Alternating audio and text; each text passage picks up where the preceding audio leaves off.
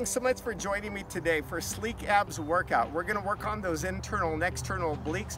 The great thing on those is those are gonna tighten things in. The transverse abdominal, that's your internal weight belt. Some other muscles called the multifidi, that's the posterior part of the core. And then the quadratus lumborum, that's the backside of the core, it helps with lateral pelvic uh, tilting. So let's get started and have a great workout. Okay, first one is from this prone position. This one is called a plank swivel. I have an awesome workout here. I have 10 exercises plus one. The third exercise is the hardest one, and you'll see why once you see it. A lot of people have never done it, so hold on through that one as well as uh, seeing what the bonus exercise is at the very end plank swivels. So you want to drop those hips down and try to lift your body up from the obliques. Really feel the core contract without lifting the shoulders or the hips. I'm just looking face down into this movement. Big deep breaths. All these exercises will be 10 reps other than the, the third exercise. You won't be able to do 10 of this next one. So you're wondering what it is, huh? So this one, number two, is Spider-Man's. And so you don't want to change the body alignment. All you're trying to do is tuck that knee in, really get that contraction, and then squeeze down. The slower you bring the leg back down, the more you'll feel that one really working. Great exercise through that outside uh, lateral part of the obliques, the external obliques. So this next one is the hardest one, and I'm just going to show you one rep but uh, your goal would be going anywhere from two to four reps. So when I have clients try to do it, their goal is four reps. Called a karate ab roll. So I try to keep my shoulders lifted. I'm just spinning on my back to go 180 degrees, and then I spin back. Now, if you can do 10 of those, you're the champ, because that would be really hard. This next one, these are called vacuums.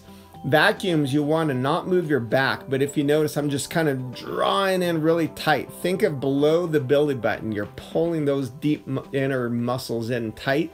That's the transverse abdominal muscle, your internal weight belt. When you get that muscle firing and contracting the right way, it's going to help to stabilize everything else. This next one is called a prone knee tuck under.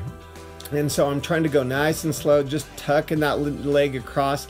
The further I reach the leg across and forward towards my shoulders or my hands, the more I feel it. Tuck under or reach under, trying to take big deep breaths, drop that hip down and get that leg to cross under. Then next we'll go into a side plank rotation next. How are you feeling on those? If you jump from one, my seven year old's videoing me. She's doing a great job. That time she moved the camera a little bit.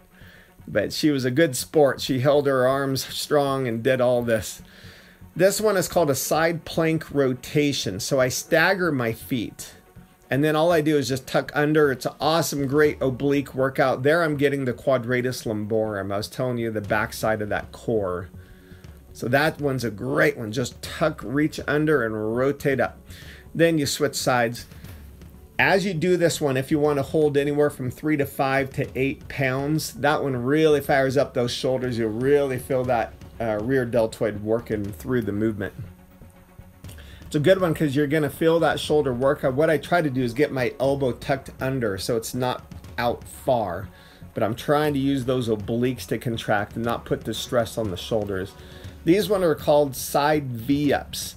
And what I try to do is try to pull from the abdominals. Don't just pull my body up. So pull from the abdominals, trying to get those obliques. Really sleek ab uh, contraction here on this one. This one's out kind of by a tennis court. So I thought this would be a nice little backdrop here for this. Pull through those obliques, big deep breaths. And this one is one of my favorite all-time exercises. It's the reverse curl. Push my hands down, it's able to relax my neck and shoulders. And then all I do is think of a collapsible roof right above you and you're just trying to drive those feet up. Um, there was a research study on that one. It shows it's actually one of the best ones, not just for the lower abdominals, but also for those obliques because you're shifting and pulling the hips up. Here is a Russian twist. I have what's called a C curve in my spine, keeping my feet up for a little bit extra uh, contraction. Taking big deep breaths, just trying to rotate through those obliques. And this is already exercise number nine. They go pretty quick. Breathing out, drop dropping on down, let those legs swivel to a um, disassociation from the upper to the lower body. Here we're doing a straight leg bicycle. I like this better than starting with your legs up um, like the regular bicycles. It's a little easier on the back and you have a little bit more contraction. The reason why is because you can actually pull it. You can hold that position because the other leg's supporting your, your back by getting it straightened. So this is exercise number 10 and then I have a bonus one in case you happen to have a bar, kind of like a pull-up bar. And the last one will be called a hanging leg lift with a twist or with rotation. It would be another way to word it. Hanging leg lift, and I just do a few. Thanks for joining me. Hope you can enjoy that workout. Try two to four sets.